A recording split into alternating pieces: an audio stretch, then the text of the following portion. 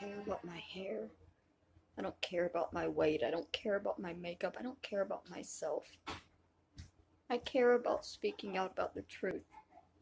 I care about my truth being believed. That's all that matters to me.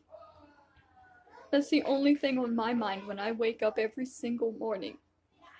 Is that I need to speak out again because nobody believes me. You don't know how hopeless of a life it is.